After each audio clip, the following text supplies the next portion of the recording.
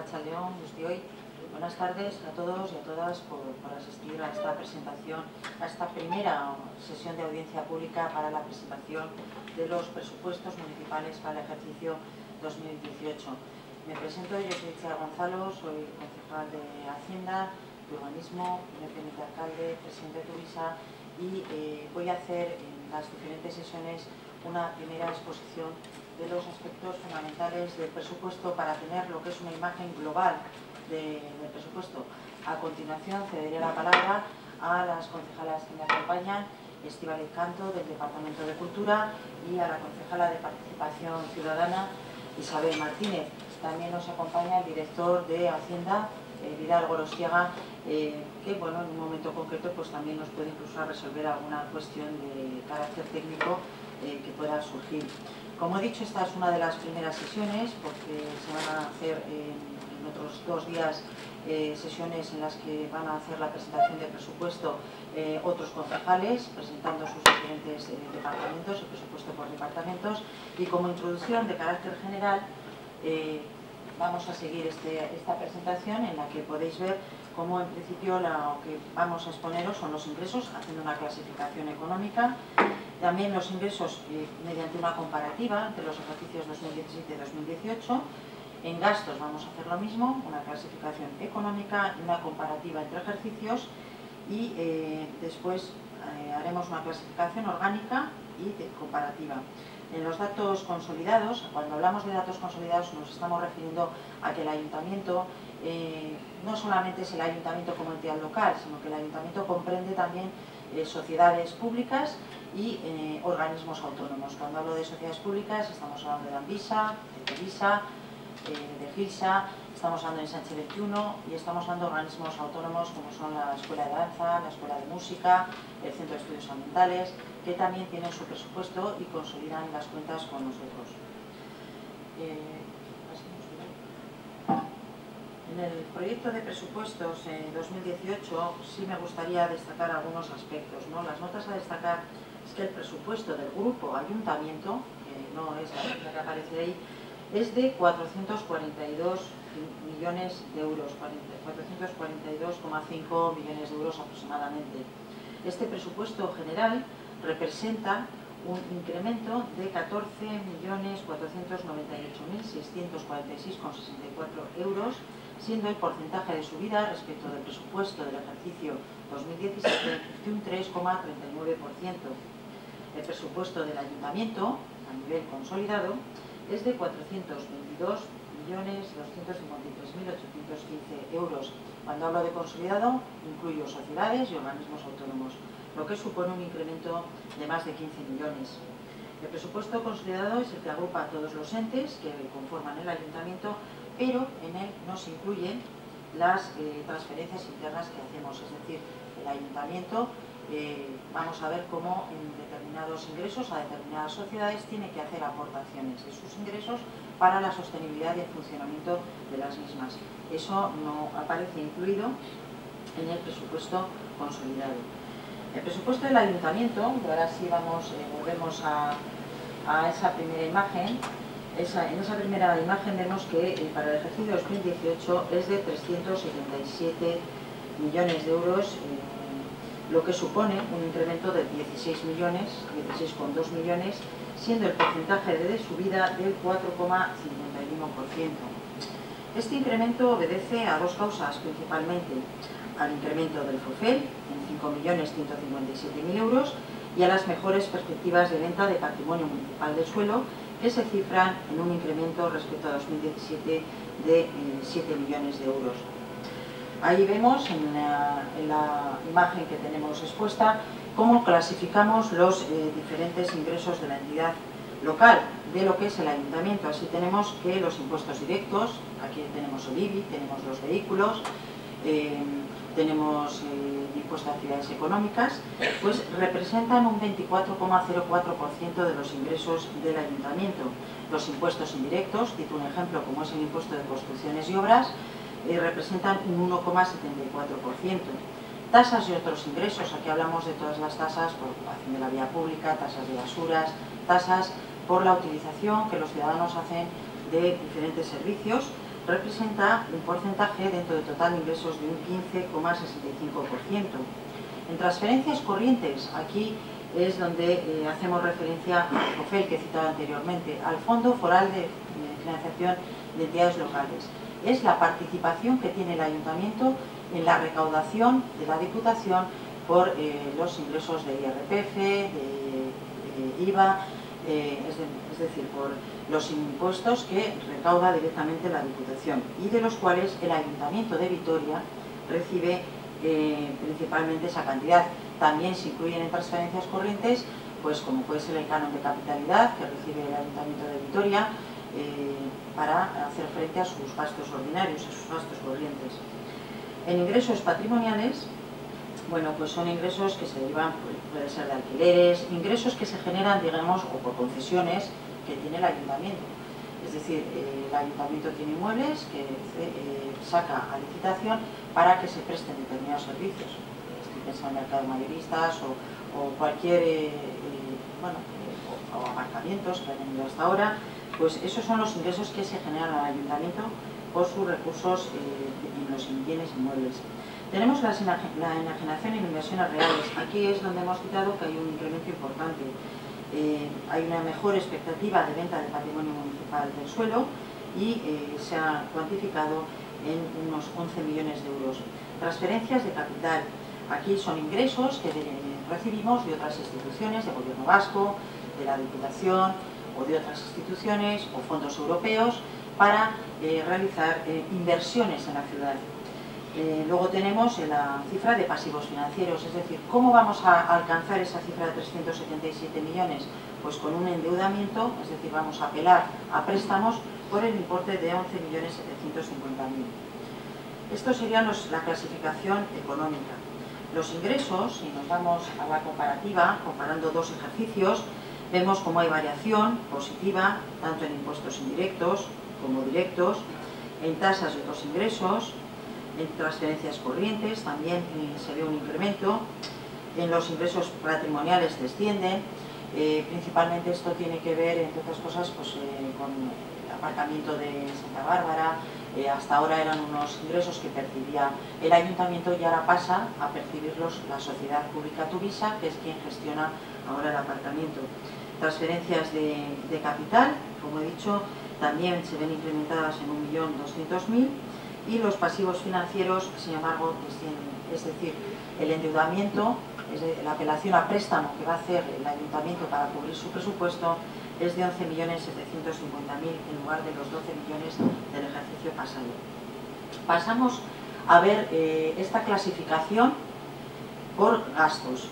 Eh, así vemos la clasificación por capítulos, nos indica eh, cómo vemos cómo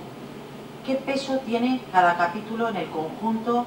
del presupuesto municipal. A nivel de gastos, vemos que los gastos de personal representan 140 millones de euros, 140,7, la compra de bienes corrientes y servicios 141 millones,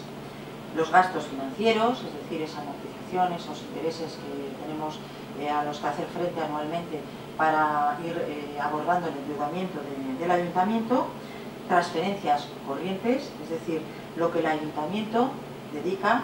a eh, convenios, ayudas, eh, digamos al sostenimiento eh, de diferentes, como he dicho, convenios y, sobre todo pues, convocatorias de ayudas públicas. En el capítulo de gastos patrimoniales tenemos una cantidad que es de 400.000 euros, no es una cantidad muy importante, es lo que nos cuesta mantener pues, el patrimonio, los inmuebles que tiene el ayuntamiento, cuando el gasto pues puede ser de IBIS, de mantenimiento en general, de comunidades de vecinos, porque tenemos eh, diferentes inmuebles a lo, largo y ancho de esta ciudad, las transferencias de capital, que eh, digamos es lo que vamos a destinar para que eh, otras sociedades o, bueno, sociedades municipales incluso hagan sus propias inversiones y luego tenemos los pasivos eh, financieros, es decir, lo que vamos a amortizar. Hemos dicho, nos vamos a endeudar, vamos a apelar a un préstamo de 11.750.000, pero los préstamos que tiene contratados el ayuntamiento, lo que vamos a hacer este año es amortizar por importe de 17 millones con 5, de forma que vayamos reduciendo ese endeudamiento de la ciudad. En los gastos de la entidad local, clasificados de forma y por, haciendo una comparativa, vemos como los gastos de personal hay un incremento importante. Vemos que pasan de 134,2 millones de euros a 140,7 millones de euros. Esto representa una variación de 6,4 millones de euros, es decir, un 4,84. Eh, debido fundamentalmente a cuatro causas. La primera es el incremento del 1,5% previsto tanto en la Administración Pública Vasca como en la estatal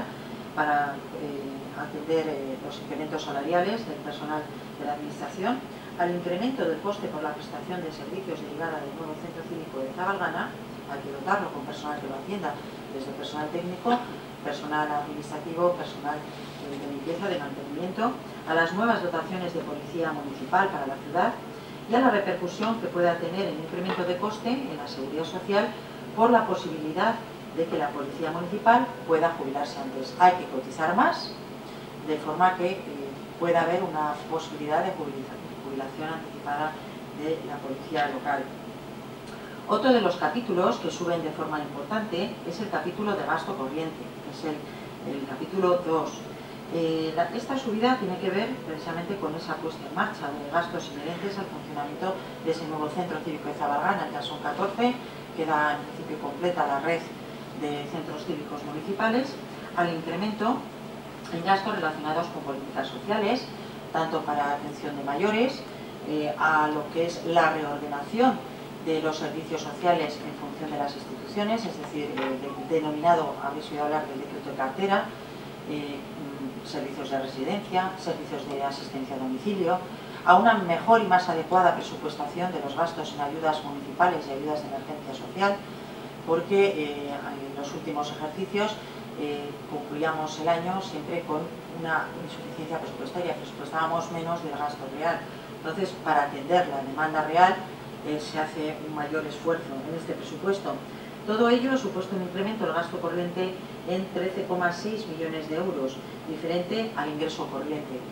eh, que solo ha incrementado 8 millones, 8,2 millones de euros. Es decir, estamos incrementando nuestro gasto corriente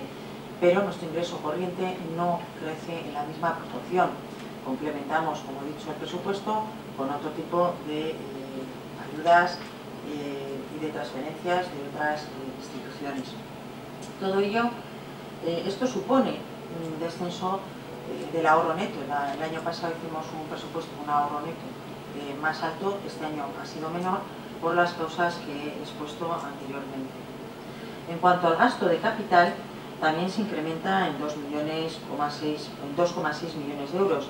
debido fundamentalmente al incremento en transferencias de capital derivadas de la firma de convenios de ampliación del tranvía hacia el sur, así como de la implantación del eh, eléctrico inteligente. Hemos hecho esta comparativa, en principio por capítulos, y ahora vamos a eh, pasar a ver esta comparativa, pero de gastos por departamentos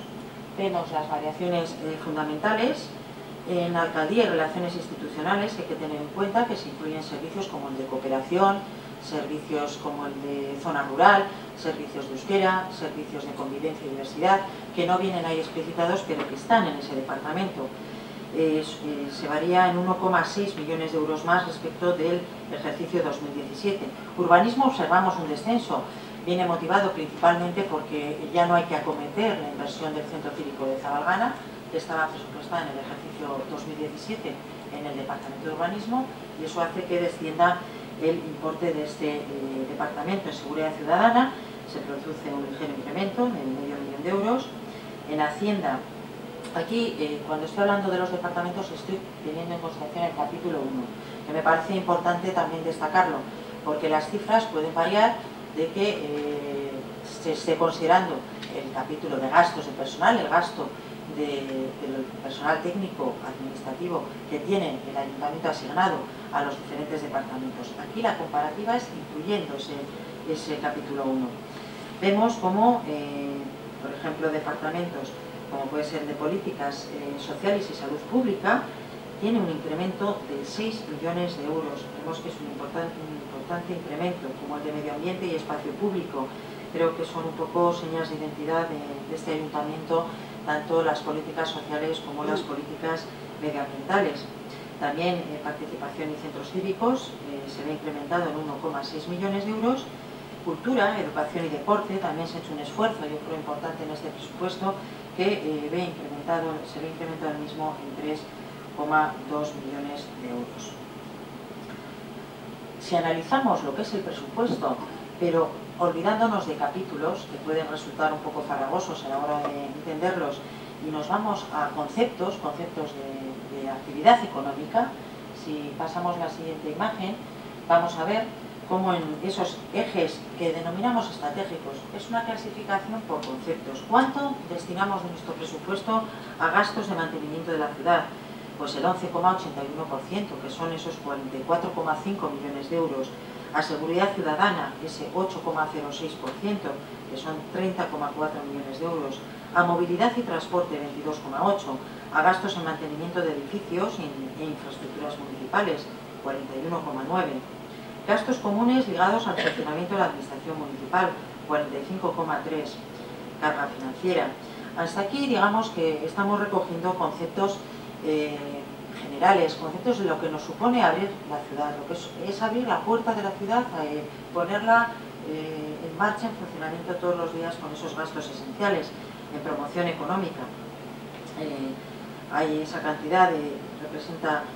3.816.000. No estoy hablando de clasificación de departamento, insisto, estoy hablando de conceptos, porque en promoción económica hablamos de 3,8, en promoción, formación para el empleo 5,3 y en turismo 3,1. El proyectos y servicios de carácter social 6,62,3. Creo que queda plasmado aquí eh, esa importancia que el equipo de gobierno a las políticas sociales y a las políticas de carácter de desarrollo urbano y medioambiental, con esos 20,1 millones de euros. También tenemos salud y consumo. En el Departamento eh, de Cultura, que eh, luego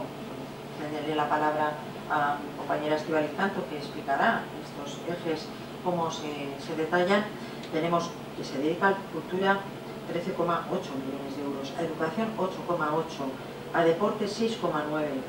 servicios prestados a la ciudadanía 21,4 millones de euros e inversiones municipales 25,9. Si pasamos a la siguiente imagen, vemos un poco eh, ese peso, esa distribución, vemos la importancia que tienen eh, departamentos como los proyectos y servicios de carácter social, este desarrollo urbano y medioambiental que citábamos anteriormente, eh, lo, pues lo que supone eh, el mantenimiento de edificios e infraestructuras, la movilidad del transporte, el mantenimiento de la ciudad en definitiva. En las siguientes imágenes lo que vamos a ver es los ingresos a nivel consolidado. He comentado anteriormente cómo eh, una cosa es el presupuesto entidad local, cuyo presupuesto asciende a esos 37.377,4 millones de euros, y eh, a nivel de ingresos aparecen a continuación las sociedades Tuvisa, Ambisa, Ensanche 21 y Gilsa. Los, ingresos que ellos obtienen eh, directamente con su actividad.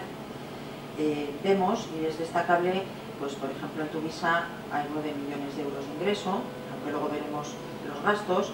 se apela a pasivos financieros, vemos que a préstamo aparece una cantidad en la última columna relativa a Tuvisa de 1,7 millones de euros, es el préstamo que tiene previsto contratar la sociedad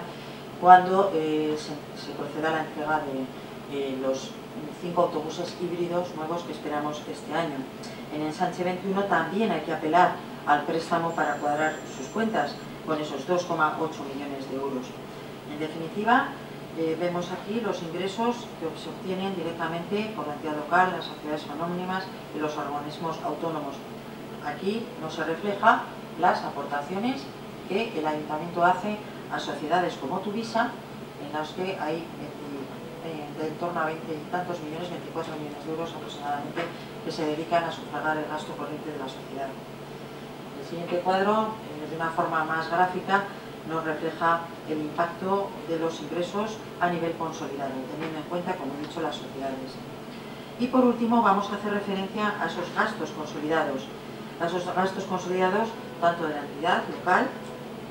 como de las sociedades anónimas y de los organismos autónomos. Vemos cómo eh, la cifra aquí eh, varía porque aquí eh, hay que tener en cuenta,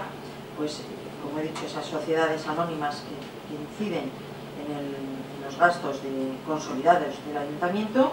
y vemos ahí el diferente desglose. A nivel de personal, la entidad local hemos dicho 140 millones, a nivel de Tuvisa, el peso del personal 19,2, en Ambisa 4,6, en el Sánchez 1,3, en el CISA 150.000 y así los organismos autónomos hasta hacer un total de 169,7 millones de euros.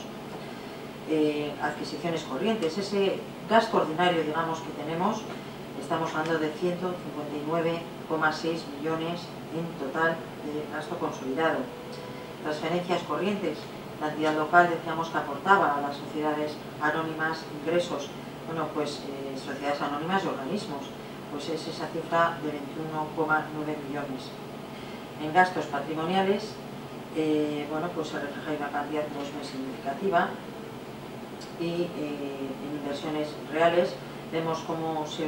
tenemos a nivel de entidad local el mayor porcentaje de gasto está en la entidad local con 28,2 millones de euros y en transferencias de capital 5,0 5 millones de euros. Y en pasivos financieros vemos esas cifras de endeudamiento, perdón, de amortización de la entidad local, en este caso el ayuntamiento, 17,5 millones es lo que se pretende amortizar este año y las sociedades anónimas también hacen su esfuerzo para ir reduciendo el endeudamiento. En total se prevé una amortización de 20 millones de euros para hacer frente a los préstamos que tienen las diferentes sociedades del ayuntamiento.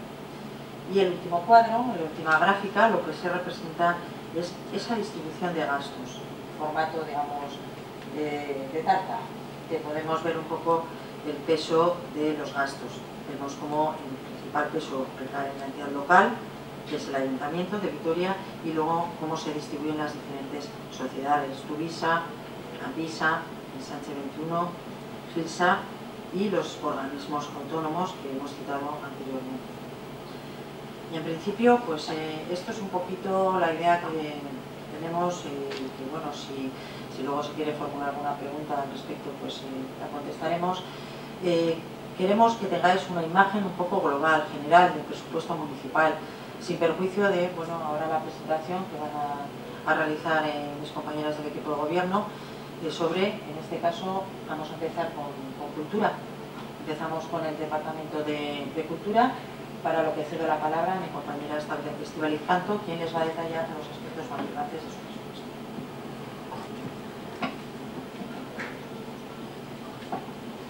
Bien.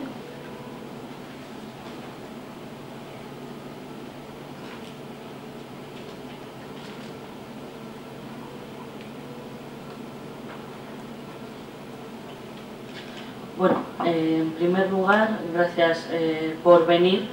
y eh, bueno, matizar que es el Departamento de Cultura, Educación y Deporte del, Ayuntamiento, aunque es evidente que la que más eh, proyección de cara a la calle o pública tiene es el Departamento de Cultura, ya que se encarga de organizar todas las fiestas. Vamos a ver, en el, voy a ir pensar por cultura, luego haré educación y luego hablaré del Departamento de Deporte. Quiero hacerlo en, líneas un poco generales y eh, luego si hay alguna pregunta específica pues eh, la resolveremos. Vamos a ver, el Departamento de Cultura es el segundo año eh, consecutivo que tiene un incremento, tiene un incremento de alrededor de un millón, algo más de un millón de euros respecto al año pasado y el año pasado tuvo también más o menos un millón de euros respecto al año anterior. no contabilizo yo el capítulo 1, es decir, el sueldo de los funcionarios no se ve aquí, pero bueno, es más o menos también casi el doble, que si el departamento son 8 millones, pues eh, más el sueldo pues son unos 15, 16 más o menos. Bien, la filosofía que hemos seguido en el Departamento de Cultura la podemos eh, reducir en tres ejes. El primero sería recuperar y dotar de presupuesto aquello que queremos potenciar. Entonces, si le echamos un vistazo a la comparativa del presupuesto de cultura, se ve que hay una subida generalizada en todas las partidas. Hablamos del archivo municipal, hablamos de la, de Academia de Folclore, podemos hablar también de la, bueno, la red de bibliotecas, también hay partidas que se incrementan debido a la apertura del nuevo centro cívico y también la, la, subida mayor, por así decirlo, que podemos ver en el presupuesto corresponde a Montermoso, a los programas que queremos hacer en Montermoso, ya que, pues bueno, desde Montermoso nos dedicamos al audiovisual, al arte audiovisual, y una de las demandas del sector eh, cultural era potenciar este, esta, unidad, que es la unidad de Montermoso. Sí que es verdad que eh, el segundo eh, de los ejes, por así decirlo, del Departamento de Cultura, podemos hablar del Plan Estratégico de Cultura. Si vemos, aquí hay una partida específica para el Plan Estratégico de Cultura, que está dotada este, para este año 2018 con 75.000 euros, de cara a eh, poner en marcha las acciones que nos han hecho llegar los agentes culturales. Y también este incremento, como decía, de las partidas eh, anteriores, más o menos, también se deben a que el Plan Estratégico de Cultura nos demandaba más inversión en nuestras propias unidades, desde las que se programa.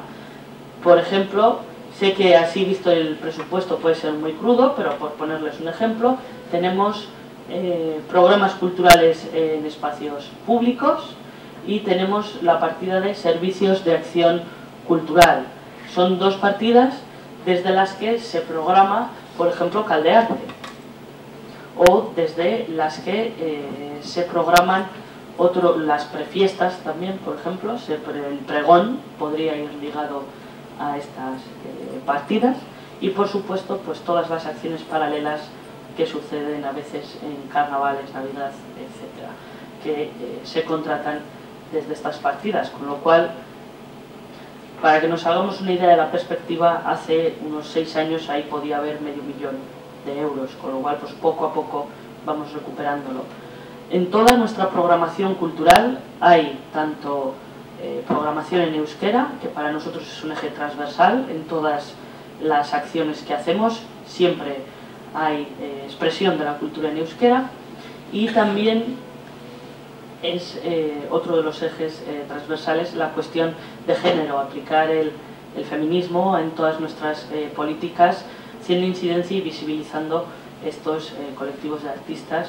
que están protagonizados por, por mujeres. Y también la eh, potencialidad local. En todo lo que programamos hay artistas locales y muchas veces son incluso los protagonistas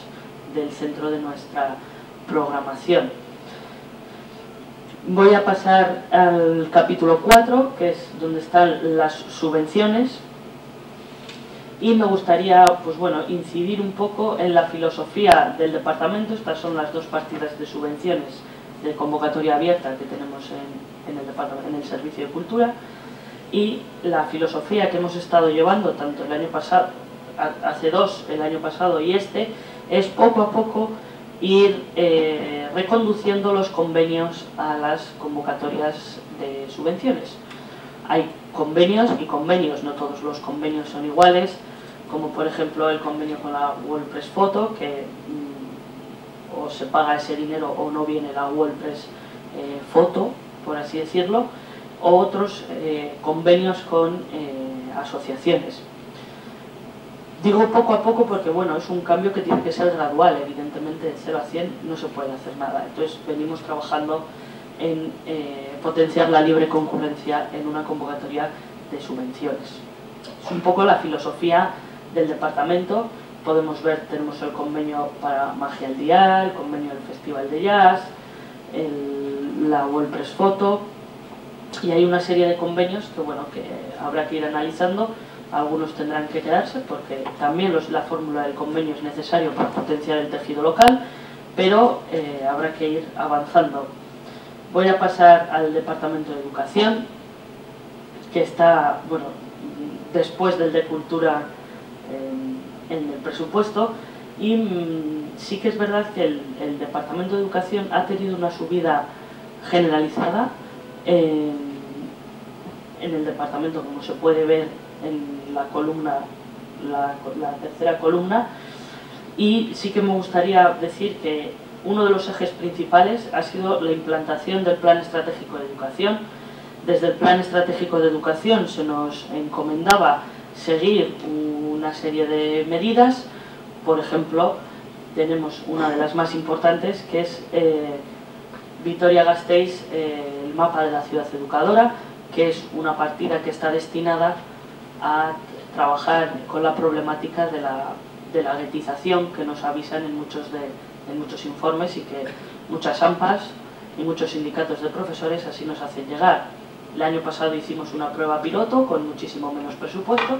y este año, una vez analizada la prueba piloto, hemos decidido acometer una buena acción, acometerlo en serio.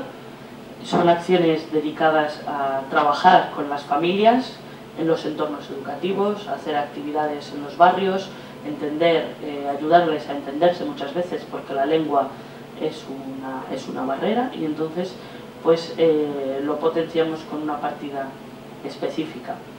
También eh, tenemos una serie de, de, cuestiones en torno al concepto de ciudad educadora, una carta que se firma hace más de 20 años por el Ayuntamiento de Vitoria-Gasteiz y que por primera vez en, bueno, en muchos años tiene una partida específica de la cantidad de 36.000 euros. Esto está destinado a trabajar junto con la universidad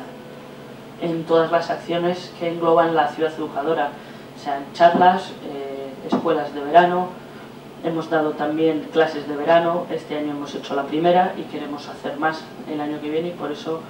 lo incrementamos. Y luego también hay una otra problemática generalizada del Departamento de Cultura, que es el mantenimiento de las de Cultura, Educación y Deporte, perdón, que es el mantenimiento de las instalaciones. Y bueno, este año, en el 2018, perdón, el año que viene, en el 2018, tenemos eh, una partida específica para el ascensor de la Escuela Municipal Infantil Aurcharo, que es una demanda de accesibilidad que nos recordó nuestro señor síndico hace algo más de un año y que bueno, pues decidimos acometer, había más demandas por el ascensor de la Escuela Zaramaga, todas en clave de accesibilidad que ya hemos acometido. Entonces, nos proponemos dar impulso a la Carta de Ciudades Educadoras y evidentemente eso empieza por hacer accesible nuestra propia casa. Y también, pasando ya al Departamento de Deportes, me gustaría decir, como dije la Comisión de Hacienda, el Departamento de Deportes tiene una problemática, tiene dos problemáticas bastante, bastante grandes. Una es el, mantenimiento de las instalaciones deportivas, con todo lo que conlleva, mantenimiento de la propia instalación o del material, o en sí de los horarios y de la gente que va a hacer deporte, que siempre, bueno, todo el mundo pide más horarios de los que las instalaciones pueden darles. Que tener en cuenta que tenemos instalación deportiva de metro cuadrado por habitante de las más altas de Europa, que aún así podríamos llenar muchísimas más instalaciones. Vitoria es una ciudad en la que se hace mucho deporte y yo no era muy consciente hasta que, tan consciente del deporte que se hace en esta ciudad hasta que entré en el departamento. todas las actividades deportivas relacionadas eh, con los centros cívicos también salen del Departamento de Deportes y decía, la primera problemática son las instalaciones y la segunda serían los contratos de prestación de servicio. Entonces, eh, nos lo hemos tomado muy en serio, son eh, contratos por los que se paga a mucha gente, que es eh, externa al ayuntamiento, por dar todos los cursos en los centros cívicos, la apertura de los campos de fútbol, la apertura de las instalaciones, todo eso se contrata y esos contratos traían una serie de problemáticas arrastradas desde hace años que bueno, hemos decidido acometer de, una vez y por eso se ven estos incrementos en las partidas. Las dos que están marcadas con incremento de casi 300.000 euros de la atención a instalaciones deportivas, algo más de 100.000 euros en la campaña de verano Y si bajamos al programa de actividades físicas, que serían todas las actividades que se hacen en los centros cívicos, vemos que hay un incremento, aparte evidentemente de por la apertura del nuevo centro cívico, también porque hemos querido acometer estas mejoras en los contratos que básicamente inciden en los salarios de los trabajadores. Habréis eh, oído eh, a lo largo de este verano pues bueno, que había gente cobrando 700 y pico euros por una jornada completa de atención a instalaciones, pues con estas subidas se ataja ese, ese problema que entiendo yo ningún gobierno progresista podía eh, mantener esos sueldos. Requieren un esfuerzo, no solo por parte del departamento, sino por parte del ayuntamiento en general, que tiene que destinar, destinar unos recursos a estas partidas y que, bueno, entendemos que mejoran también, hacen incidencia en la mejora de la calidad de vida y de trabajo de las personas de esta, de esta ciudad. Hay unos incrementos también en adquisición de material. Nos gustaría que fueran más, evidentemente, y seguro que a todas las federaciones deportivas también, pero eh, un incremento, hemos visto aquí, es un incremento ligero, el mayor incremento está en el capítulo 6 con las adquisiciones de, de complejos, etcétera. Tenemos una suma eh, total de, de más de adquisición de material de unos eh, 90.000 euros más para el año que viene en estos eh, términos, que insisto, la demanda deportiva de la ciudad es mucha y eh, podríamos eh, tener, mm, vamos, nunca va a estar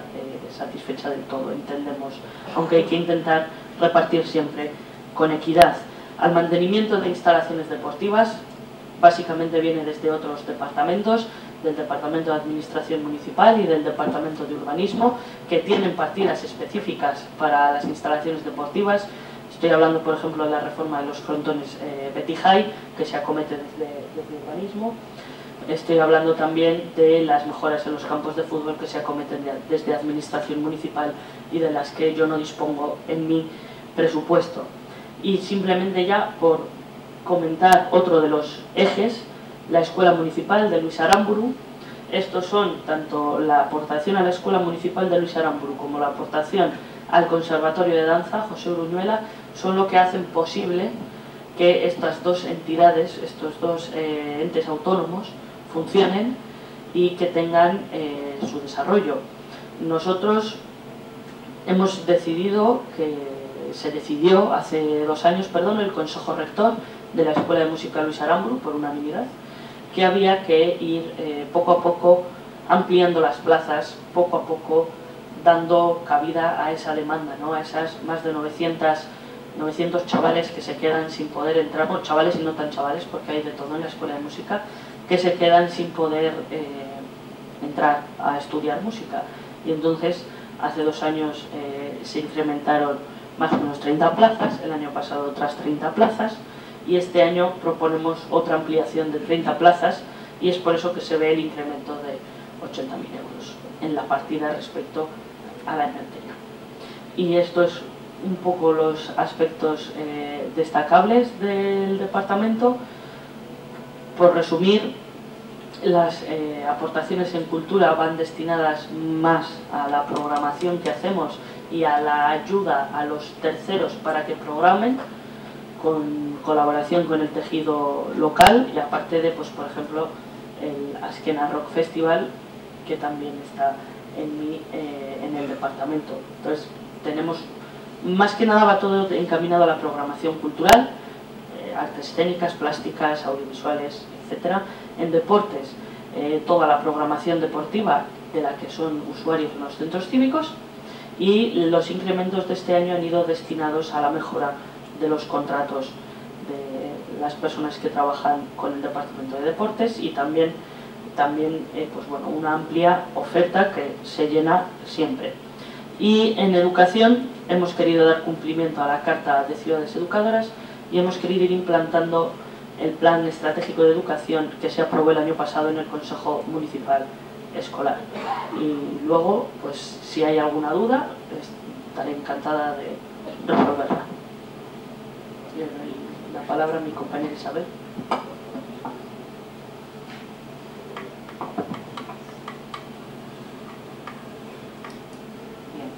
buenas tardes.